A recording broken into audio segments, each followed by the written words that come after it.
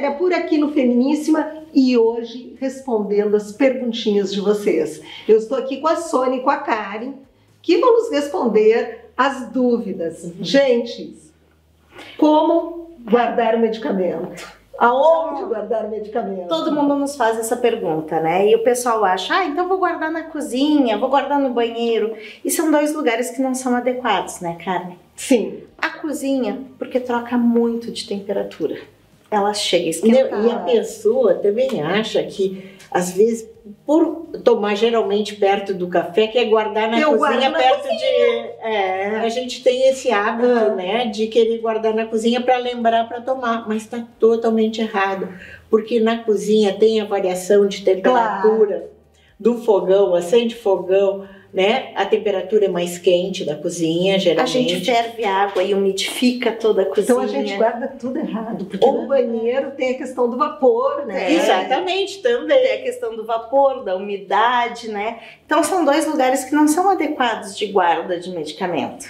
Porque o medicamento ele deve estar sempre numa temperatura claro. entre 20 e 25 graus. O ideal é que ele esteja sempre constante para poder manter aquela qualidade. Outro medicamento tem que ter cuidado, Carmen. Eu sempre, eu que amo homeopatia, o homeopático não pode estar perto de televisão, de telefone, hum, é bom saber, de, de celular. De celular. Então o pessoal tem mania de botar na bolsa junto com o celular, totalmente fora. E eu trouxe uma coisa bem legal assim uhum. que nós temos lá também, que o ideal, Carmen, é sempre a gente preparar a semana com tá. o medicamento, tá? Então, o ideal é que a gente tenha aquelas caixinhas, ah, que a gente tem as caixinhas de guarda de medicamentos, né? Tá. E aqui, por exemplo, aqui, nesse aqui que a gente tem na farmácia, dias, tem né? por dias e tem por turnos. Show. Então, a pessoa já prepara aquela semana e uhum. sabe se tomou, se não tá, tomou. então eu vou aproveitar e vou emendar uma pergunta que eu sei que tem aí, uhum. que é se eu posso dividir a cápsula. Para ah, abrir a cápsula ou partir é. o comprimido? Essa é outra pergunta. Essa né? é a nossa próxima pergunta. Partir o comprimido a gente não deve partir hum. nunca, tá? Porque tu nunca sabe aonde está realmente o Sim, medicamento, a porção do medicamento naquele comprimido, tá. tá? Já tem vários estudos, além de que quando tu vai partir o comprimido, ele esfarela um pouquinho, Sim. então tu tá perdendo um pouco do medicamento. Ou ele não conseguiu partir certinho, claro. né? Então, a pessoa, principalmente assim, vou dar um exemplo, ó. Suponhamos o remédio da pressão. Tá. Se ele não está partido certo, a tua pressão vai oscilar também. Claro. Né?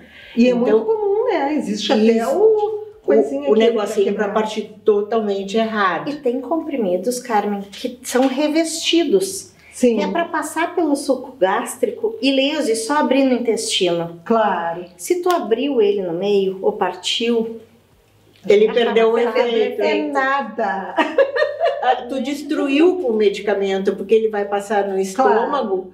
Claro. Com a acidez do estômago vai alterar o medicamento. A cápsula, então, nem se fala, não é? Exatamente. Então, assim, a cápsula ela pode ser revestida para ela passar no, tá. no, no, estômago e não, não sofrer alteração, né? Ou ela é uma cápsula que ela deve abrir realmente no estômago. Mas tem uma coisa, perguntem para a gente claro. se pode abrir a cápsula ou não, tá?